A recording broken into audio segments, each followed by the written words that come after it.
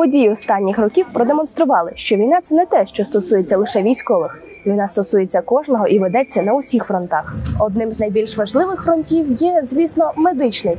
Отож, про те, як наші медики мужньо тримають оборону держави у тилу і на лінії зіткнення, розповім вам я, Софія Вагін. Поїхали! Навіть війна має свої правила. За законом міжнародного гуманітарного права є категорії людей, яких не можна вбивати на полі бою. З поміж них медичні працівники. Лікарям на фронті в тилу мають бути забезпечені умови, за яких вони зможуть вільно виконувати свою роботу, а не боятися своє життя. Однак Росії правила не писані. Станом на червень 2022 року окупанти пошкодили 627 медичних закладів, ще понад 100 зруйнували повністю. Сумарно понад 700 лікарень було обстріляно ворогом. І скільки людей не зможе отримати медичної допомоги? Але навіть не це найстрашніше. Станом на червень 2022-го щонайменше 11 лікарів було вбито внаслідок бойових дій.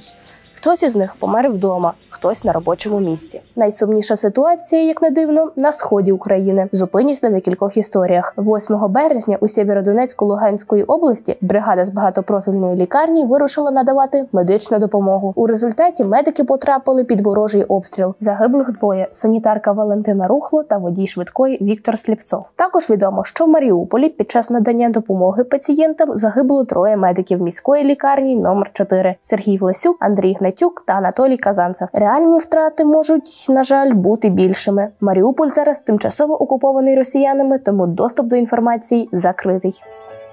Окрім медиків, які працюють у місцях запеклих боїв, на відносно мирних територіях лікарі стикаються з не менш серйозними викликами. Щодня у Львів, Тернопіль, Чернівці доправляють важкопоранених солдатів, дорослих та дітей. Як лікарня справляється з такими навантаженнями? Зараз дізнаємось.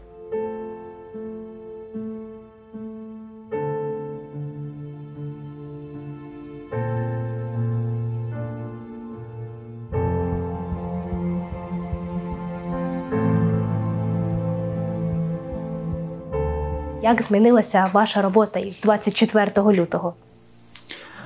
Робота наша змінилася кардинально з 24 лютого, тому що ми почали працювати в умовах війни. Це умови, які ніхто не може передбачити і наперед розказати, як працювати. Ну, Перший місяць ми працювали важко. Практично були весь час на роботі 24 на 7. Налагоджували роботу клініки, робили бомбосховище для того, щоб евакуйовувати дітей під час тривоги в безпечне місце. І також змінювали свою роботу, змінювали свої графіки, змінювали свої маршрути, відпрацьовували, яким краще працювати, коли на роботу приходити в умовах е, комендантської години, коли додому йти. Е, зробили резерв на базі в Брюховичах нашої клініки на 100 додаткових місць ну, і почали працювати. І працюємо зараз на суботу. А як лікарня навчилася поєднувати важкопоранених з інших міст, і пацієнтів зі Львова? На початку ми звільнили клініку від наших пацієнтів з нашої області для того, щоб бути готовим до масового поступлення дітей з півдня України і з і з півночі України.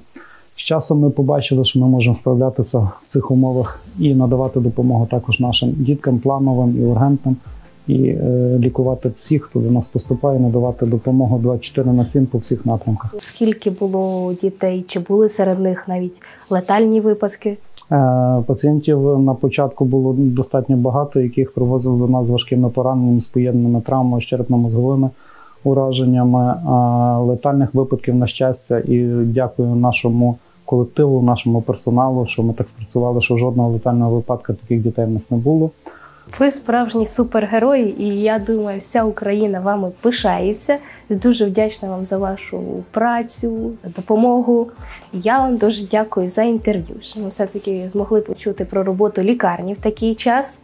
Отже, дуже вам дякую. Вже до зустрічі в мирний час. Дякую всім, дякую за підтримку волонтерам, дякую за підтримку нашій державі, яка в скрутний час для неї робить максимально для лікарів і для пацієнтів. Дякую волонтерам, які нам достатньо багато допомагають, і кожній людині, яка долучається до порятунку нашої держави і допомагає всім, чим тільки зможе. Всім дякую. Слава Україні!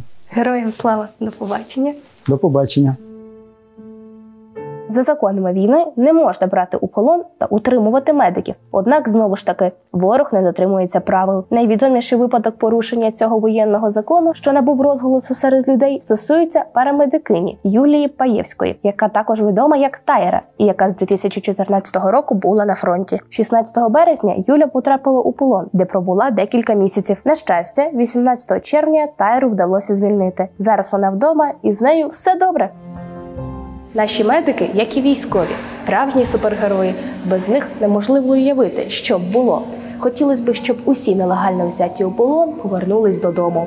Звичайно, ми пам'ятаємо про усі подвиги лікарів під час цієї війни і про загиблих. А з вами була я, Софія Вагін. До зустрічі у наступних сюжетах і па-па!